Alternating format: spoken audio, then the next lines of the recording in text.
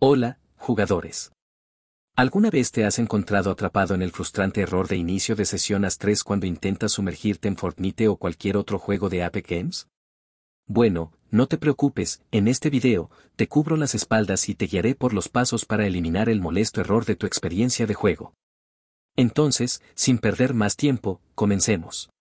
Solución 1. Restablece tu configuración de red. Abre configuración, luego haz clic en red de Internet, luego configuración de red avanzada. Elige Restable Run.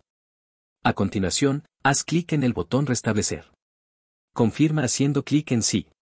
Después de eso, cierra la ventana emergente y reinicia tu computadora. Verifica si el error persiste.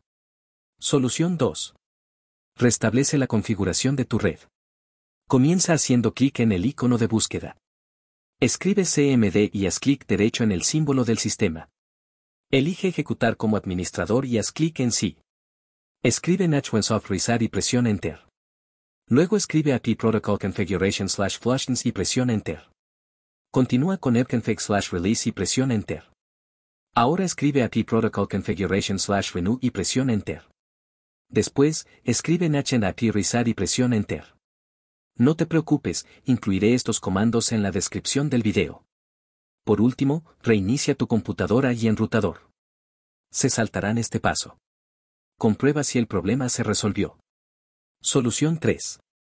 Cambia tu servidor DNS. Abre el símbolo del sistema, escribe ping 1111 y presiona Enter. Anota el ping mínimo, máximo y promedio.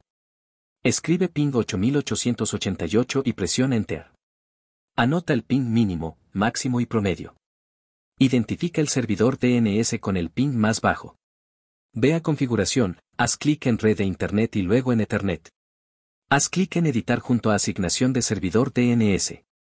Selecciona manual y habilita IPv4 si está desactivado. En el cuadro DNS preferido, agrega el servidor DNS con el ping más bajo. Muévete a DNS alternativo. Si usas 1111, escribe 1001. Si usas 8888,